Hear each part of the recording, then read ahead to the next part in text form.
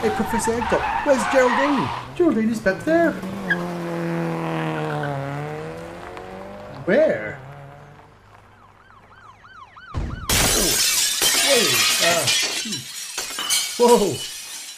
There she is.